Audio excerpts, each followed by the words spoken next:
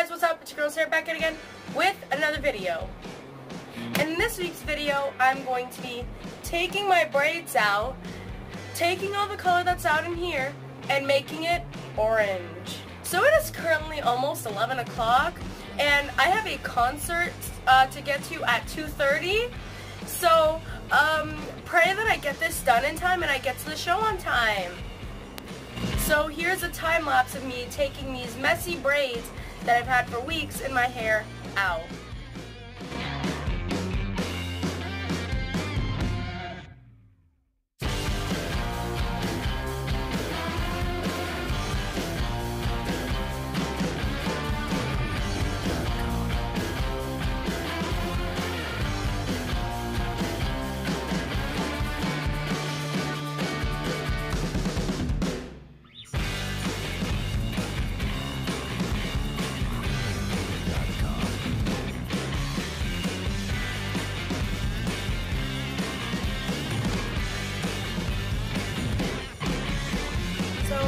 Took all of the braids out, and now, I, oh my god, it looks like such a mess, and there's hair falling out everywhere.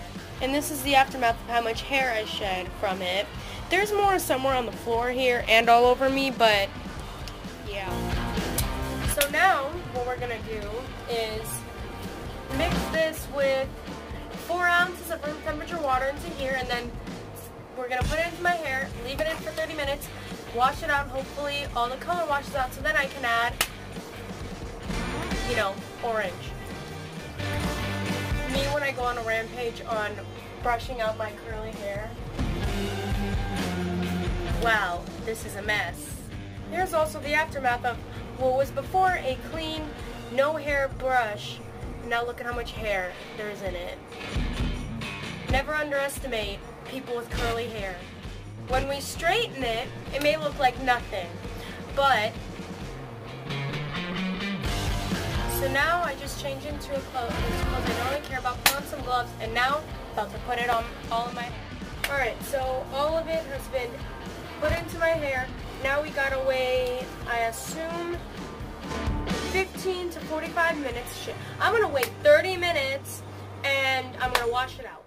Now I've made my solution of like part conditioner and then part hair dye from Good Dye Young. To be honest, this is my first time ever using this hair dye and in all the videos I always see that they use like just no, they don't even use the whole thing. They just use a little tiny amount like just like a little squeeze into like conditioner. They put into the hair and it's very saturated um, in the hair and it looks very saturated in this um, I hope it ends up becoming looking really nice. But we'll see about that. So I've officially showered and slightly dried my hair. Um, not much of the color has actually left. It's still very there and very saturated.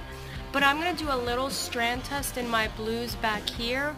Put the orange there and if it, you know, turns to brown because of the two mi colors mixing together, then I'm just going to have to redo this whole process again. But if it does go to orange, then I'm just to say like, forget it to this blue. I'm to do it all orange and then we'll see with that.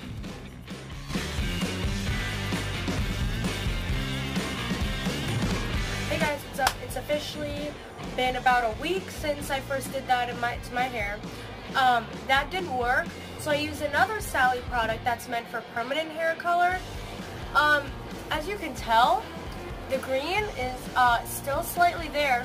So I'm just gonna go ahead and put the orange in anyways. Because I did a little strand test and yeah, mixing like orange and green together makes brown, but I did a strand test and it made like a, uh, a like a uh, orange brown. So imagine like neon orange and then some orange brown. I feel like that'd be kind of a cute ombre. So we're gonna do it anyways and see what happens because I, I cannot stand having my hair like this anymore. Like look at this mess. It's as if I never went to a salon and paid $200 to make it look like Kim Possible hair. So I got my gloves on and still the formula for the hair that I made, my hair that I made last week, and we are gonna get right into it. So now, from this point on, here is a time lapse of me putting it into my hair.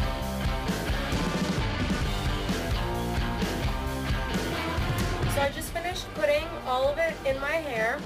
Now uh, we gotta wait, like, I'm gonna, I'm gonna keep it in for 30 minutes and I'm gonna wash it out and show you guys the final results. So this is the final result. And on this side.